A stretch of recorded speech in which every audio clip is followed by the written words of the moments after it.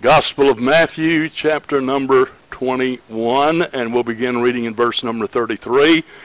And this is the parable of the wicked husbandman. And I want you to notice that is plural, okay? And it's not the wicked husband, it is the wicked husbandmen, husbandmen. So there is a group of these uh, men and we begin reading in verse number 33 of Matthew 21. Here another parable.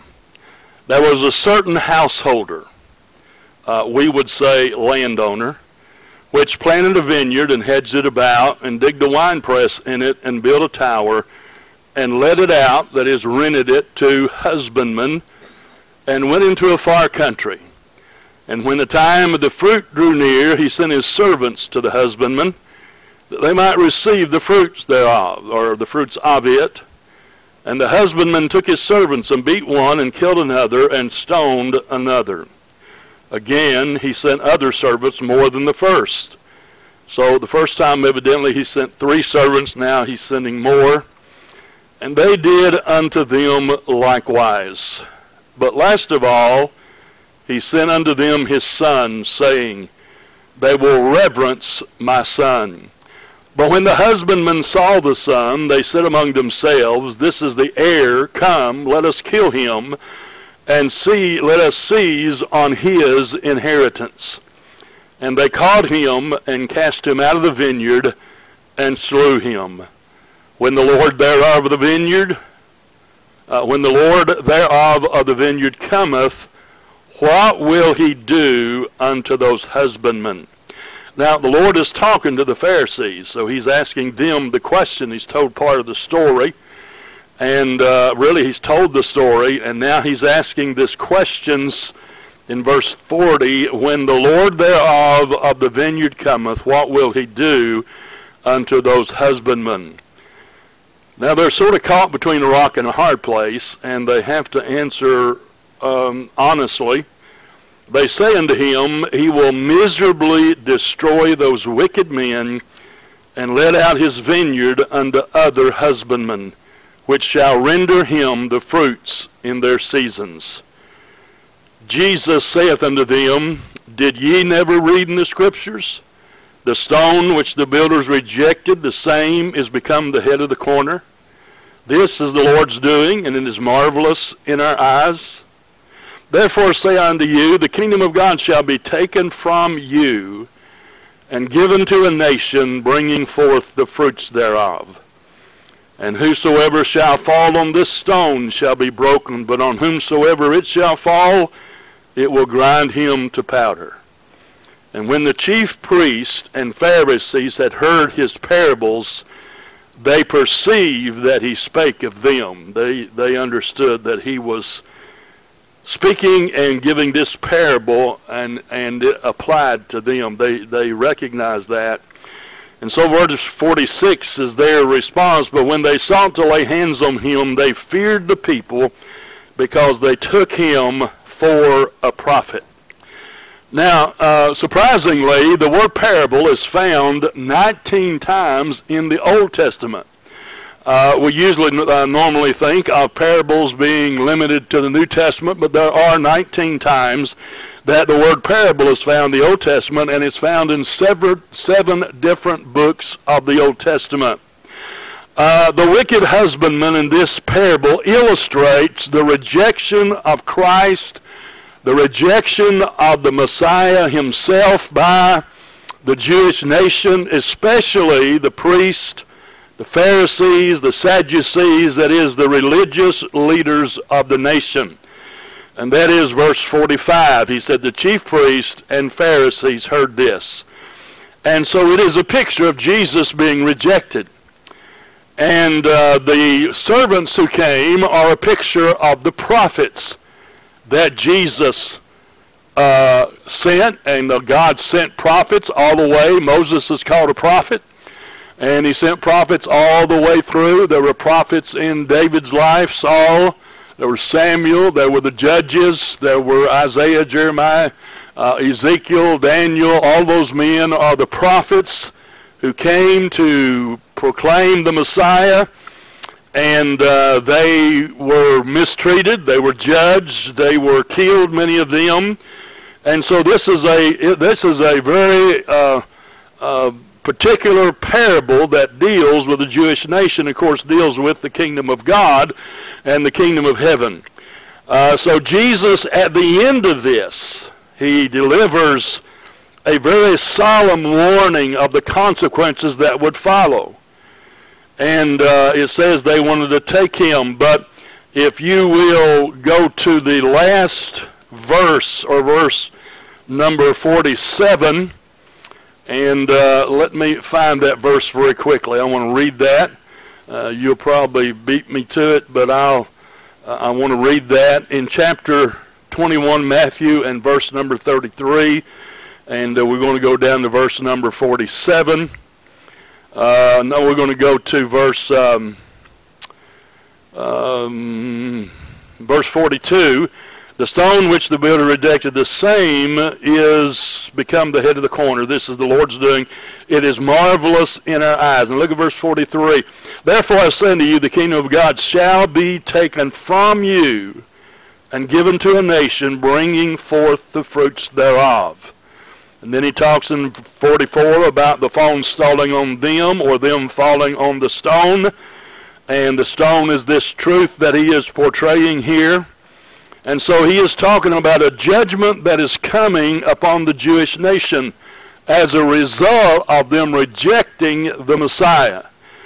Uh, if you remember in our previous studies and somewhere along the way we've mentioned this, that in 70 AD the Romans came into Jerusalem and destroyed Jerusalem and they also took away captives. They leveled, basically leveled the city, leveled the temple, and so God turned them over to the Gentiles, and God let them destroy Jerusalem, which is Mount Zion, which is the city of David. And so we find that this is the end of uh, the parable, is that God is going to allow the nation of Israel to be not destroyed, not annihilated, but but attacked and and in a sense uh, destroyed uh, of its because it has killed the prophets and crucified the Messiah. Now look in verse 33, and I want you to notice the meticulous care for the vineyard. Notice how this householder, this owner, this landowner, marks off space, okay? He's got this huge, we would say today, a plantation. He marks off a corner of that plantation, probably many acres, uh, and it's vineyards. He planted, the Bible says in other places, he planted it with the choicest of vines. He uh, enclosed it with a hedge. Now, the hedge here does not mean that it was a bush hedge like we think of. Sometimes the hedges are made of stone, sometimes made of wood. Sometimes they were uh, thorns that were surrounded uh, uh, uh the vineyard to keep out the animals, thieves, and other things and uh, it would keep out those, uh, you know, Solomon talked about the little foxes that spoil the vines and keep out the thieves that would come in and, of course, take the grapes. And so he marked off the space. He planted it. He had to plow it. He had to cultivate it. He had to uh, make it soft to receive the seed of the grapes, and then he enclosed it with a hedge for protection. Bible says he digged in a wine press, and the wine press was made up of two parts. They usually built it on a little slope, and on the top of that slope they would build the wine press where uh, there was a huge, uh, usually concrete kind of um, uh, container up there large enough for two or three men to get into, and they put all the grapes in there, and they would trod down the grapes. And that would squeeze all the juice out, and the juice would flow down a, uh, a viaduct or down a tube or downhill into a cistern that would catch the grape juice. So that's how they separated. Didn't have the machinery that we have today, and so they had this wine press up high, a little bit higher, and it would flow down into this this cistern. We could call it a cistern, or the wine vat, is what it was called. The Bible says he also built in it a tower, a tower for the watchmen and the laborers. Sometimes these towers are so huge they were used as uh, dormitories for the husbandmen. They would be several, uh, I mean, 80 feet tall. Sometimes at the bottom they'd be about 30 foot square. Uh, and they also put watchmen up there to watch the uh, vineyard and to make sure the thieves didn't come in. Another second way of protecting that. And then they would, uh, of course, watch for the animals coming in. And so they, he did everything. He did everything that was necessary uh, to make it a well-supplied vineyard, and he spared no labor, he spared no expense. He furnished it in such a way to ensure its fruitfulness, because he's going to get a part of uh, of the fruit of this uh, this um, vineyard. The Bible says he then let it out or rented it to tenant farmers for an agreed part of the grapes. They didn't exchange money. He just said, you take it. And sometimes it was a set amount. Sometimes he would say, okay, I want a uh, hundred bushels of grapes out of this. And so regardless of how much it produced, he would get a set amount. Or he would say, I want um, 25% of all the harvest uh, of the grapes when it all comes in. He left his servants, he left his servants probably there to tend to his own vineyards, to tend to his own, we would say again, plantation. Uh, he probably had other things that were planted. And so he left servants behind for two reasons, to tend to his own uh, interest, his own uh, farm or uh, plantation, and then they left them there to receive, to gather the grapes that belonged to him according to the contract he had with these people. Now, if you will, find Isaiah chapter 5. Brother uh, Dallas is going to put that on the monitor for us, but if you want to turn there, you can. And there's exactly what God does through Nehemiah. He gives them exactly the same parable, the same comparison uh, in the Old Testament concerning the Jewish nation as he did here in Matthew 21. In chapter 5 of Isaiah, verse 1, he says, Now will I sing to my well-beloved a song of my beloved, touching his vineyard. My well-beloved hath a vineyard in a very fruitful hill.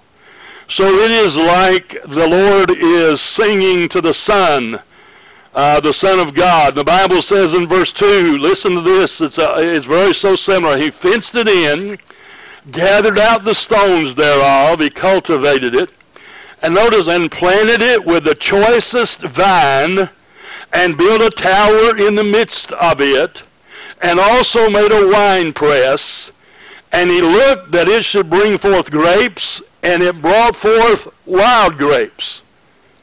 He said, I planted this vineyard. This is Jerusalem, and this is Israel. God planted them and God wanted them to be a nation that gave the people the Word of God, and through the Jewish nation, the Old Testament did come through the Jews. And uh, he said, I put it there that for the, you know, really says another place for the blessing of the nations. And he said, I want to be a fruitful here. I did all this. Jesus asked in Matthew 21, what more could I have done? And now look in verse 3, and now inhabitants of Jerusalem, men of Judah, Judge, I pray you, betwixt me and my vineyard, that is between me and, and Jerusalem and Israel. And he says, What could have been done more to my vineyard than I have not done in it? He said what he's saying. He's saying to the people of Judah and Israel, he is saying, What more could I have done? You started out with the choicest of vines. Everything was there to produce a wonderful harvest and have pure grapes, and you brought forth wild grapes, which speaks of their waywardness from God and their idolatry and all the things that would that would be included in a description called the wild grapes. And verse five, and go to two, and go uh, and now go to. I will tell you what I will do to my vineyard.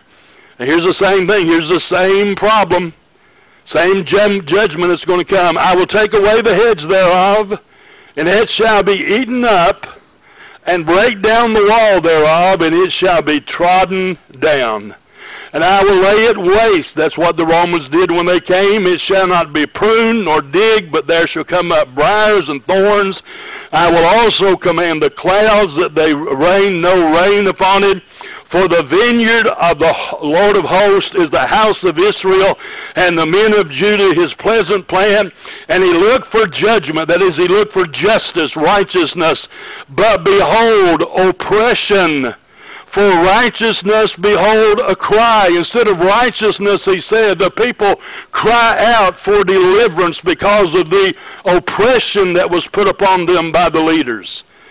In verse 8, Woe unto them that join house to house, that lay field to field, till there be no place, that they may be placed alone in the midst of the earth.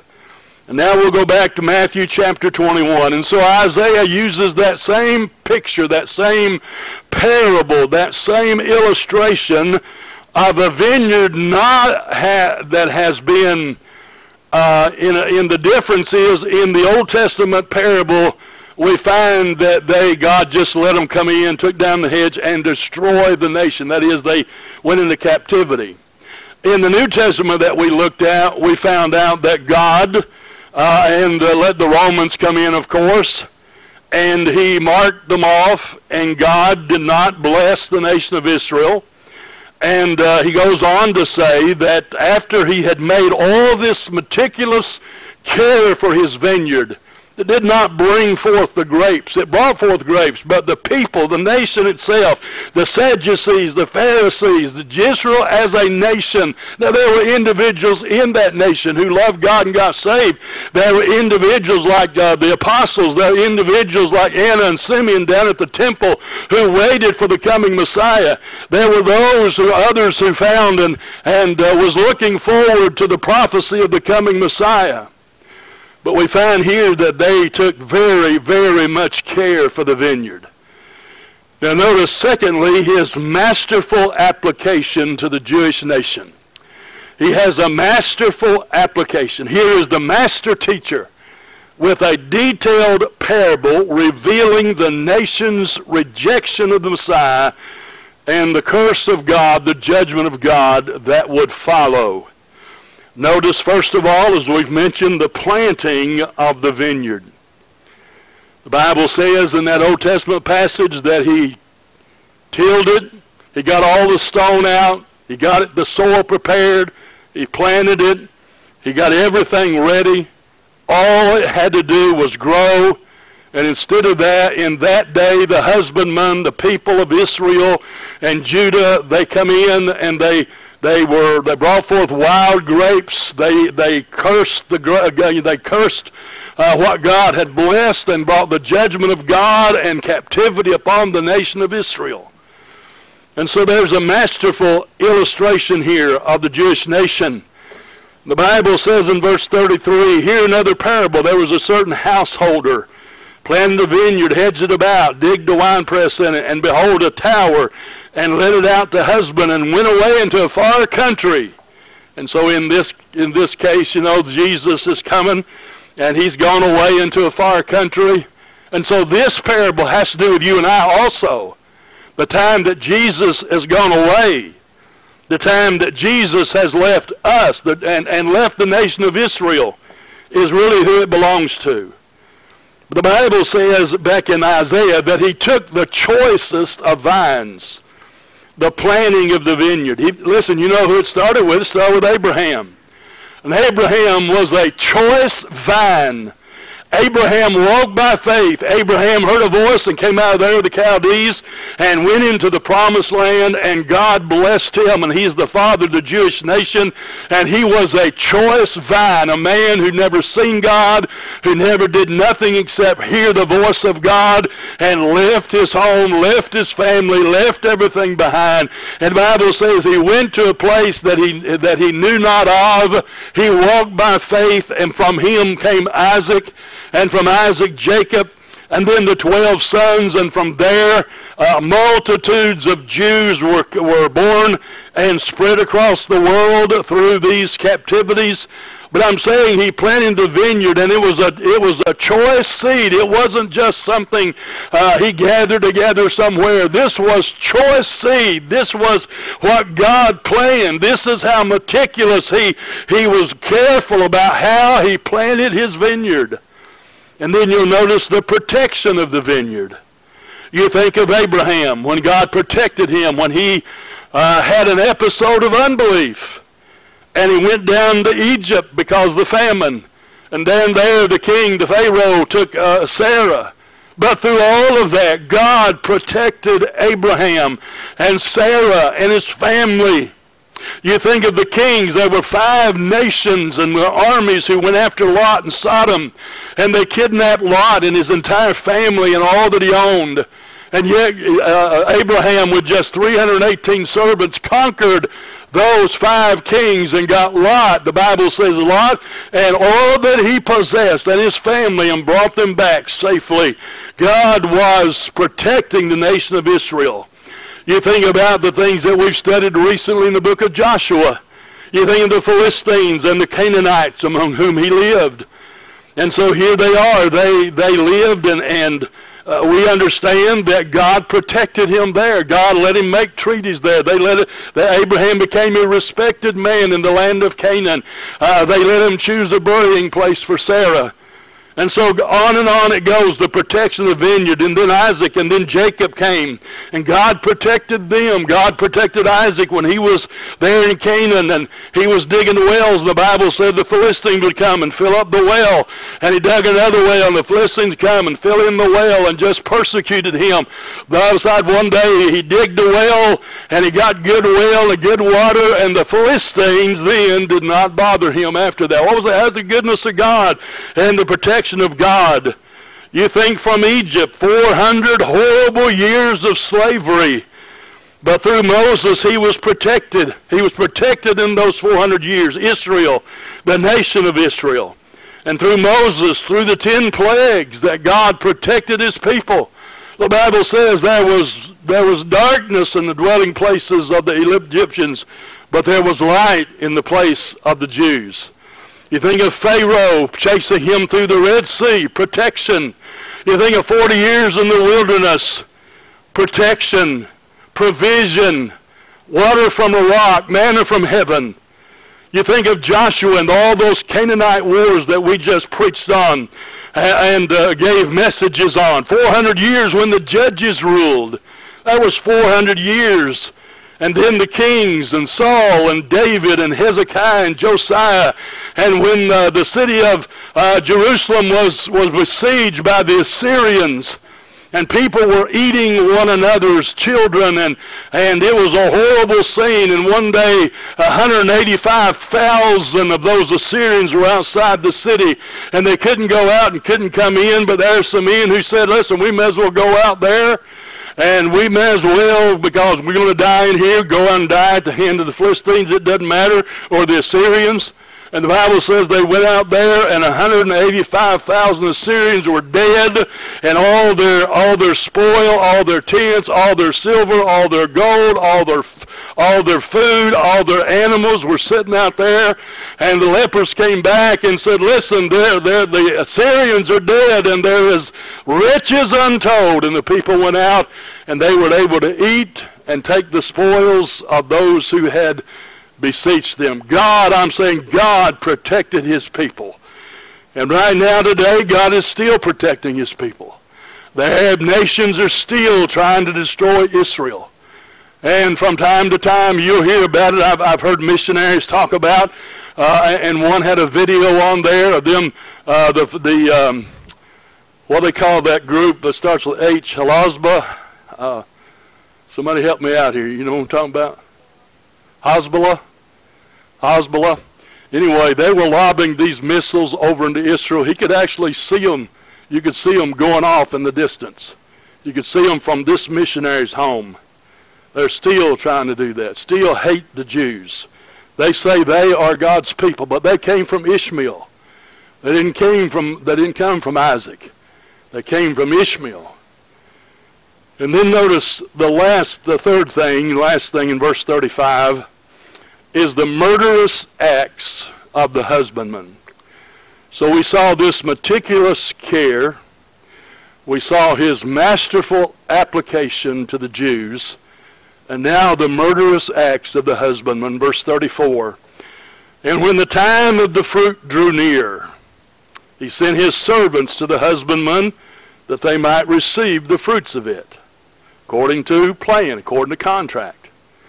And the husbandman took his servants and beat one, killed another, and stoned another. So I'm going to say at least two of these were killed. The one that was beaten, it doesn't say for sure. In verse 36, again, he sent other servants more than the first, and they did unto him them likewise. They also killed them.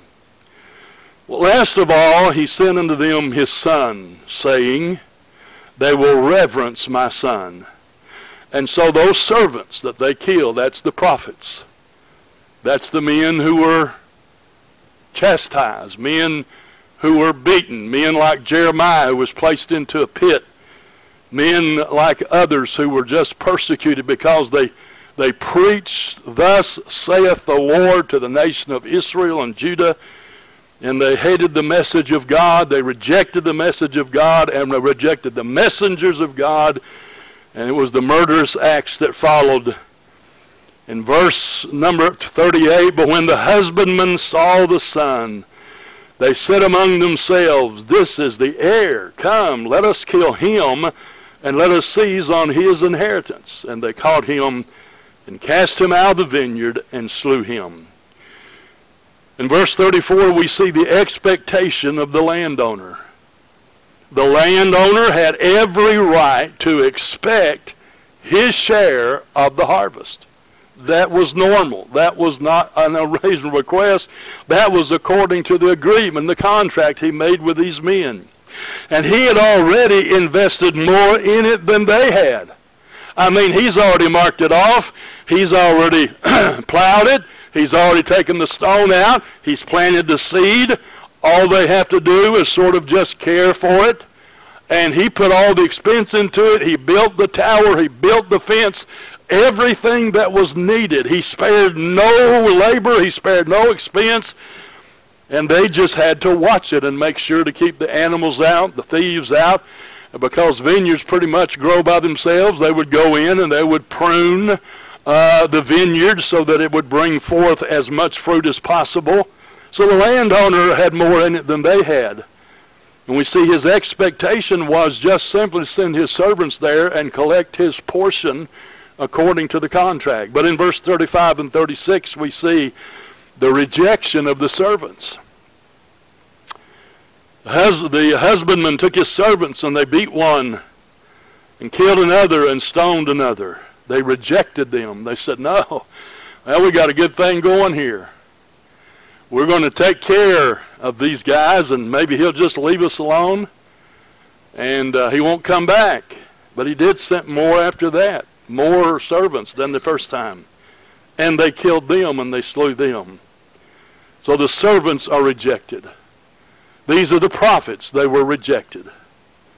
And then notice in verse 37 and following, 39, the assassination of the son. Matthew 21:42, Jesus saith unto them, Did ye never read in the scriptures? Man, what a what a rebuke right there just to the Pharisees and Sadducees. They were supposed to be expert on Jewish law. And he said, um, Did you never read in the scriptures? The stone now he's going to quote Psalm 118, verse 22. And he said, The stone which the builders rejected, the same is become the head of the corner. This is the Lord's doing, and it is marvelous in our eyes. Psalm 118:22 says, "The stone which the builders refused is become the headstone of the corner." This is the Lord's doing; it is marvelous in our eyes. So the Lord sent his son, God sent his son to the nation of Israel that's his life. When he came, born of a virgin, born in Bethlehem, prophesied for 500 years the Messiah would come, and yet they still missed it. And he said, because you didn't read the scriptures, you didn't understand the scriptures, so when he came, you thought him to be a fake and a farce. You thought him to be a phony, and you crucified the Son of God. And the assassination of the Son. But Jesus, of course, raised from the dead, and he died for us, died for our sins. God never is out of control. God knows what he's doing. And when things go wrong or seemingly go wrong, they're just going right. God has a greater purpose in mind. In verse 40, here is the searching question of the householder. In verse 40, when the Lord there, uh, there uh, therefore of the vineyard cometh, what will he do unto those husbandmen? What is he going to do? I mean, they, they have to be honest. I mean, there is no other answer except he's going to deal harshly with these men. He is going to do, in verse 41, here's the retribution upon the nation. They say unto him, He will miserably destroy those wicked men, and let his vineyard to other husbandmen, which shall render him under uh, render him the fruits in their seasons. Now, if you go back and think about the story that nation is the Gentiles. That nation is the church. And so God said, I'm going to take the vineyard that you have refused to give me the fruit thereof. Now in the Old Testament he said it brought forth wild grapes. And here he says it brought forth grapes, but you withheld them and you, you murdered the prophets and you, you crucified God's son, my son that I sent you. You did not reverence him. And so the Bible says those are the Gentiles. That's the church. That's the church. That's you and I. God said, I have taken it from Israel. My blessings. And I put them upon the church. On the day of Pentecost when the Holy Ghost came upon the church, he empowered that church. He told them to go into all the world and preach the gospel to every creature. And so in verse 43, he says, Therefore I say unto you, the kingdom of God shall be taken from you and given to a nation, Gentiles, the church, bringing forth the fruits thereof. And since, listen, since the day of Pentecost, there have been more Gentiles saved than Jews. There have been a whole lot more Gentiles saved than Jews. They rejected it and God rejected them. And if you go to 2 Corinthians 3.14, sometimes it says this, But their minds were blinded, for unto this day remain the same veil untaken away in the reading of the Old Testament, which veil is done away in Christ. But even unto this day, when Moses is read, the veil is upon their heart. Nevertheless, when it, the nation shall turn to the Lord, the veil shall be taken away. That won't happen until the tribulation period. They're not going to turn to the Lord, but God will reserve a remnant. Paul says because of their rejection of the Messiah, they have a veil upon their eyes. And when the scripture is read and Moses is read and the scripture is preached, the veil is upon their heart. Now there are Jews saved. He's talking about as a nation. Like in Jesus' day, there were there were people. The disciples were Jews. They got saved.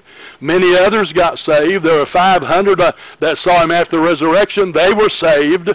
But as a nation, the nation rejected the Messiah.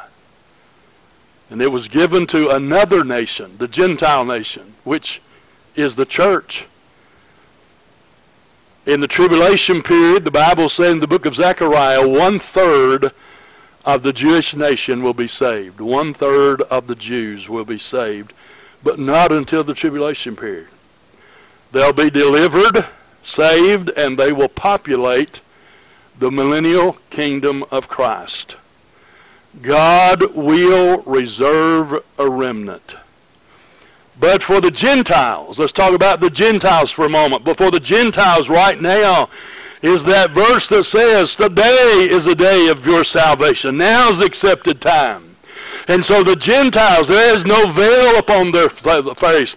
They can understand. They can hear the gospel. They can repent. They can believe. And I, you know, you can't get this across to people. This is your day.